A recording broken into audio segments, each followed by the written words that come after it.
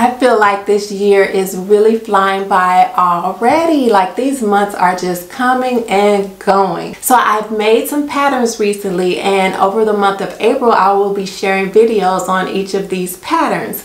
So actually today I went to Joann Fabrics because they were having a sale on Simplicity. I wasn't able to get any of the newest patterns but I did pick up 9647. I really like these pants. I thought that they were so cute.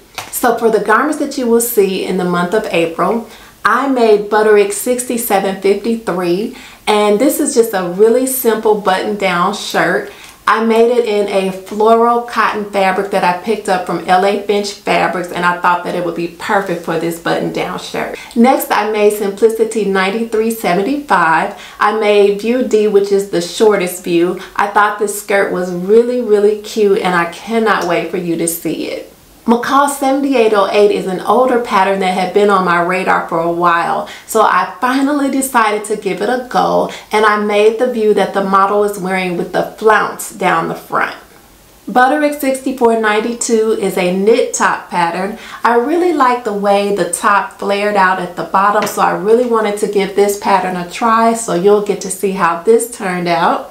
Simplicity 8546 is also a pattern that's a little older. I have made this before in the longer view, but this time around I made a shorter view. So you'll get to see what that looks like. I made the hat in McCall's 8212. Now this hat did not make it in any of my April videos, so I thought that I would share it with you now. It's really nice and floppy and I thought that it was so cute and I really like the way that it turned out.